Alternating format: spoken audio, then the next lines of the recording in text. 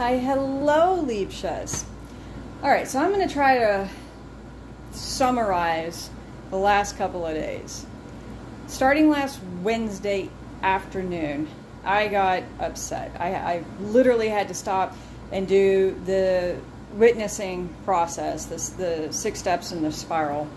Uh, something I hadn't really stopped, so please forgive me. That's what I call it now. Um, and get through some what the hell did I just witness moments. Okay. And while I was at work, I going through it in my mind, I'm thinking of typing an email to this place and da da da da, whatever, going, you know, what do you think just happened? Well, while I'm at work, I gave myself a double whammy because the physical exertion of cleaning the fryers and deep soaking them and then adding one more to it did not help. Uh, a lot of lifting and tweaked my back and I wasn't paying attention. So the lesson I got from that was about commanding my light, the call to presence, being present, okay, staying the active presence. I let my emotions run roughshod over me, okay, and I saw it.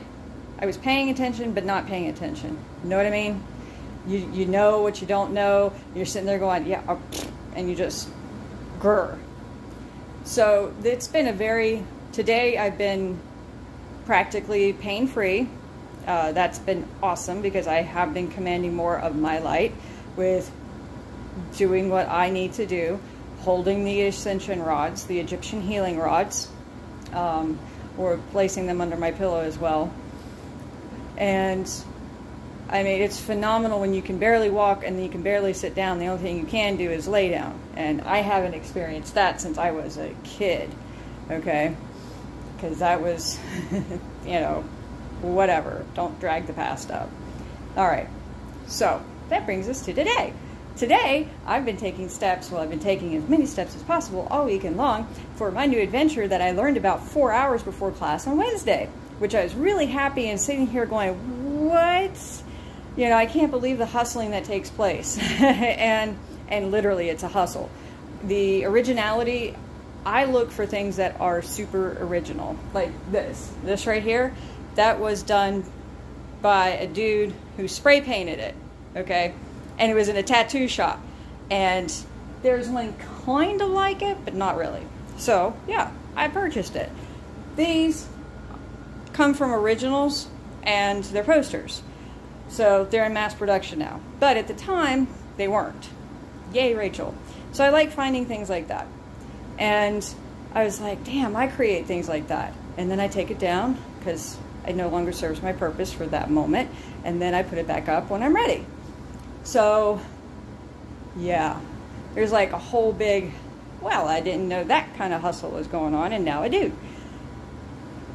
No wonder where there's a will, there's a way. And I'd been saying that all last week when I was recording Miss little lion here because she has figured out how to get into the top of super high closets. She's figured out how to get on top of a rack that has, um, what, about another foot and a half to it. I'm like, how in the frick did you get up there? I thought I took away all those little step stools. Nope, where there's a will, there's a way. So, okay, hand to heart, breathe, let's go follow the intuition. It needs to get out there. All right, I think I did the great summary. Yeah. All right, guys, hope you have a good one. Holler at you later. Stay cool. It is hot outside. Bye for now.